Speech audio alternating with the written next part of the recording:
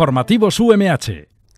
¿Qué tal? Bienvenidos a este espacio de actualidad universitaria en el que cada día les ponemos al tanto de las noticias más destacadas de la Universidad Miguel Hernández. Yo soy Elena Sanz y como siempre, antes de desgranar los asuntos más destacados de la jornada, quiero enviarles el saludo de todo el personal del Servicio de Comunicación que hace posible este programa. En la cabina técnica de este estudio de radio están Borja Cabrera y Jesús Martínez. Hoy es miércoles 10 de marzo de 2021 y esto es Informativos UMH. Arrancamos. La Universidad Miguel Hernández organiza la duodécima edición de las Jornadas Políticas Públicas de Igualdad, una mirada diversa a las mujeres de la comunidad valenciana. Patricia Moreno amplía la información. La Facultad de Ciencias Sociales y Jurídicas de Orihuela de la Universidad Miguel Hernández, la Unidad de Igualdad y el Centro de Investigación de Estudios de Género de la OMH han organizado el webinar Jornadas de Políticas Públicas de Igualdad, una mirada diversa a las mujeres de la comunidad valenciana. Esta actividad, coordinada por la profesora de la OMH Irene Belmonte, se desarrollará en formato online a través de dos sesiones, que tendrán lugar el 11 y el 12 de marzo. En esta decimosegunda edición de las jornadas se presentará el informe diagnóstico realizado por profesores de la UMH sobre la situación de algunos colectivos de mujeres en la comunidad valenciana, elaborado a petición de la Consellería de Igualdad y Políticas Inclusivas. Las 11 ediciones anteriores de las jornadas de políticas públicas de igualdad celebradas en la Facultad de Ciencias Sociales y Jurídicas de Orihuela de la UMH han constituido un periodo temporal suficiente para consolidar este espacio de debate y de reflexión en el que tienen cabida todo tipo de enfoques teóricos, y metodológicos sobre los estudios de género multidisciplinares. Para los estudiantes de último curso de grado y máster, el segundo cuatrimestre es sinónimo de trabajo de fin de grado o trabajo de fin de máster, un estudio, revisión bibliográfica, investigación, etcétera, que llevan a cabo bajo la tutorización del profesorado para demostrar que han integrado los conocimientos de diferentes materias.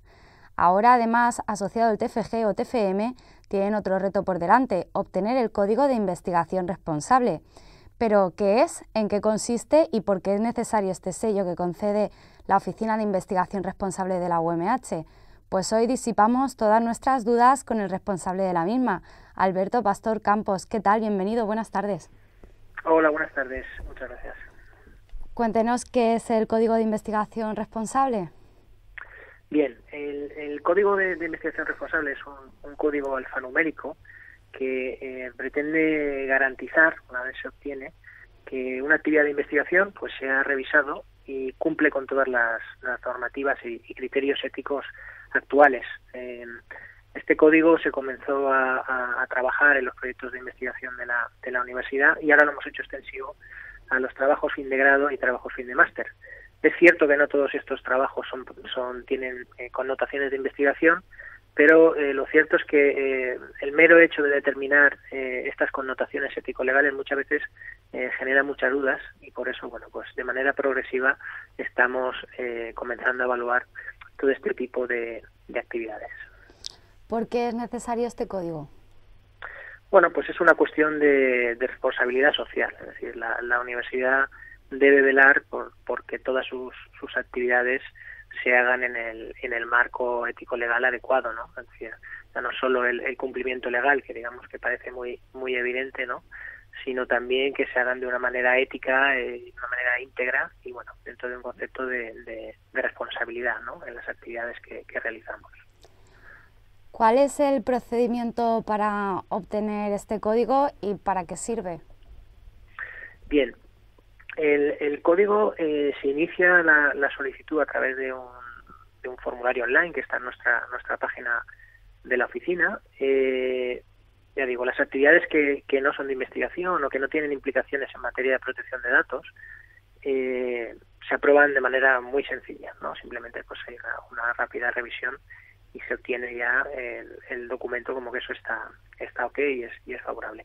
Las que sí que tienen, en cambio, pues hay un segundo paso en el que se le indica al, tutor y al alumno pues que deben cumplimentar una serie de, documentación que finalmente termina evaluándose por un comité de ética, ya sea universitario o un comité de ética de, de, investigación de un hospital, ¿no? Un poco dependiendo del tipo de la actividad.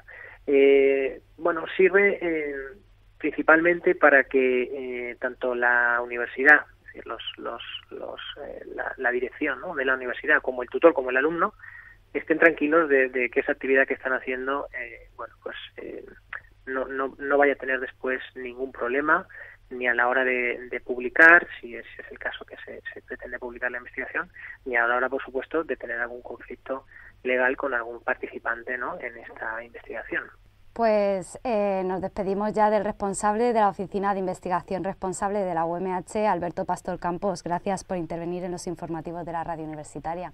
Nada, muchas gracias a vosotros. Este es solo un fragmento de la conversación, pero pueden escuchar la entrevista íntegra en radio.umh.es, el blog de la emisora universitaria. Busquen la publicación del informativo y disfruten de todo el contenido. El licor de limones ecológicos de la Vega Baja, desarrollado por la UMH, obtiene la protección de la Oficina Española de Patentes y Marcas. Tiene más detalles Mari Ponce. Vega Escorza, el licor producido por investigadores de la Universidad Miguel Hernández, exclusivamente a base de limones ecológicos de la Vega Baja, ha obtenido la protección de la Oficina Española de Patentes y Marcas. Los investigadores de la UMH, Pilar Legua y Ángel Carbonell, han desarrollado este producto que ha conseguido el modelo de utilidad, que acredita la novedad mundial del producto, que utiliza el fruto y la hoja de limonero en su elaboración.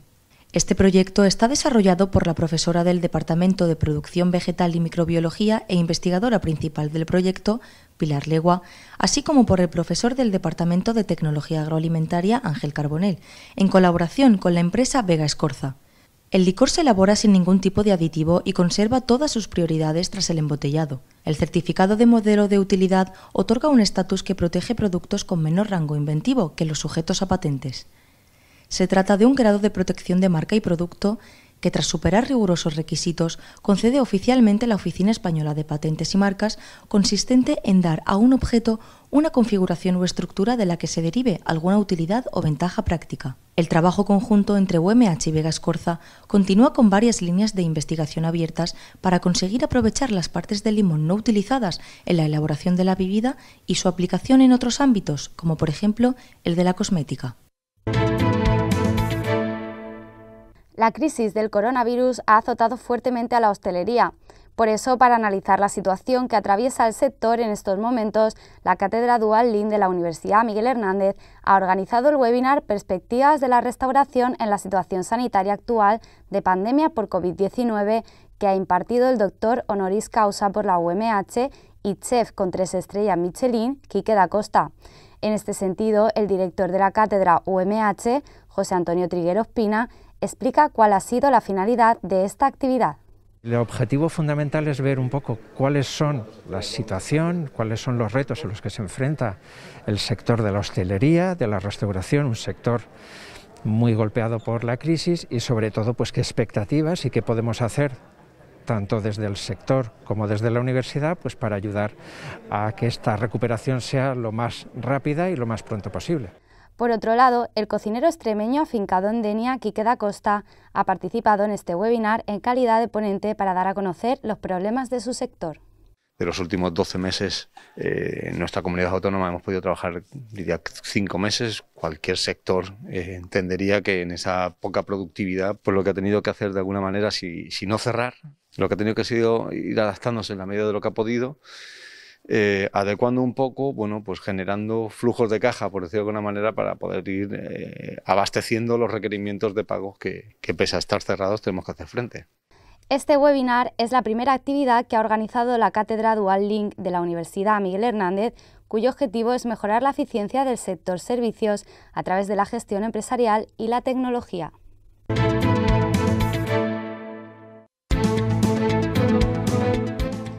Nada más, esto es todo por hoy, pero la información sobre la Universidad Miguel Hernández sigue en las redes sociales. Cuídense.